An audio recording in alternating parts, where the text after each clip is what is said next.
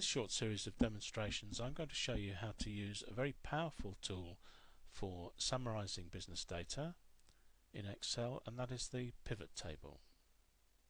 In this first demonstration I'm going to build a simple pivot table.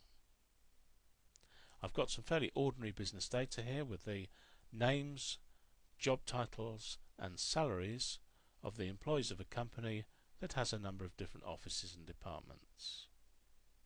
First thing I'm going to do is select a cell in the data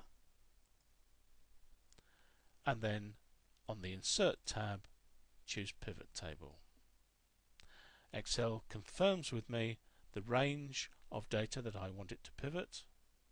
And note that I can use an external data source. That could be a different Excel workbook or a database to get my data from. I've also opted to use a new worksheet on which to place my pivot table. To start the process, I'll click the OK button. And Excel's inserted a new sheet with an area on it where the pivot table will appear. And some tools over at the right hand side here to help me create my pivot table. And there are also two new tabs on the ribbon options and design so between them there are all the different tools that I need to create my pivot table. I'm interested in analysing the salaries for the various different offices and departments. In the upper part of the control panel here there's a list of the column headings of my data and down at the bottom four areas that represent the different parts of the finished pivot table the report filter, column labels, row labels and values. I'm going to start by taking the office column and I'm going to drop it into the row labels box. Excel's already started to build the pivot table. It's taken one of each of the items that it's found in the office column and listed them down at the left hand side of the pivot table. They're going to become labels for the rows in my pivot table.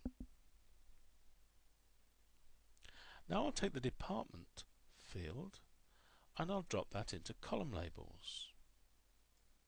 Similarly, Excel has taken one of each of the items that it found in the departments column and listed them across here where they're going to be labels for the columns of data. It's also placed an area for the grand totals for the rows and the columns.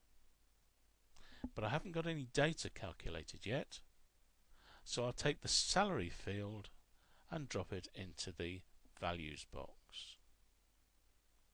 Excel assumes that I want a sum of salary. In other words, it's adding up the salaries for each office and each department. And if you point at one of these figures, it pops up a label showing you exactly what that value is. Now if I'm not particularly happy with the layout of my pivot table, I can just change things down here. So for example, I can take department and drop it underneath office. Immediately my pivot table changes, listing each office and underneath the total for each department within that office. I can look at it another way. I can take office and drop it underneath department. So now I have each department and listed alongside that the totals for each office. I haven't used the report filter yet so let's take the office field and drop it into filter. Again the pivot table has changed. It's showing me the total for each department for currently all the offices. If I'm interested in an individual office or maybe a group of offices, I can open the filter. I'll choose select multiple items. I'll remove the tick from where it says all. And maybe I'm just interested in the London office. OK. And those are the totals for the London office. If I'm interested in a particular number, so I can see, for example, the production department there has a very high value compared to the other ones. And if I want to find out, for example, why is that, I can simply drill down. That means double clicking on a number, Excel creates a new sheet on which it's entered all the data that it used to create that specific number that I double clicked on.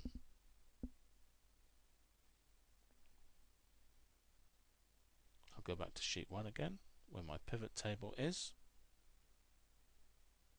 Notice that it's showing me that it's currently filtered for London.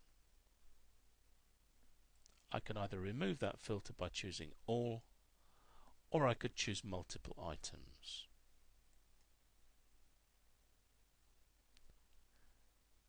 That concludes this first part of the demonstration of pivot tables. In the next section I'll show you how to format your pivot table.